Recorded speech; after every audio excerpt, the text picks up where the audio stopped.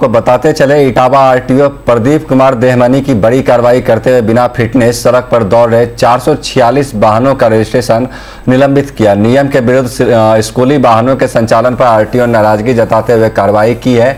वह उनतीस स्कूली वाहनों का रजिस्ट्रेशन भी निलंबित किया है। आरटीओ प्रदीप राजमनी ने यह कार्रवाई कर ज़िले भर के नियम विरुद्ध दौड़ रहे सड़क पर वाहन स्वामी को एक संदेश दिया है कि फिटनेस कराकर ही टैक्स जमा करके इस सड़क पर वाहनों को संचालन करें।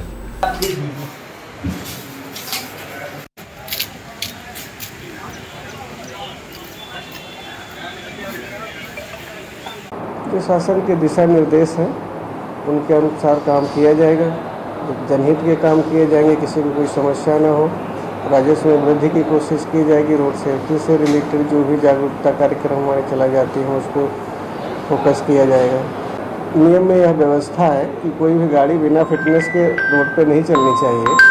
और यदि हमारे कार्यालय में प्रदर्शित हो रही तो उसको सूचना दें नोटिस दें और उनका फिटनेस कराया जाए तो बार बार सूचना देने के बाद, दूरभाष पर भी संपर्क करने के बाद तथा नोटिस भेजने के बावजूद भी कुछ लोग फिटनेस वाहनों का नहीं करा रहे थे, जिसमें से उनतीस वाहन स्कूली वाहन हैं। उनका नियमानुसार शासन के निर्देशों के क्रम में तत्काल प्रभाव से पंजीयन निलंबित कर दिया गया है।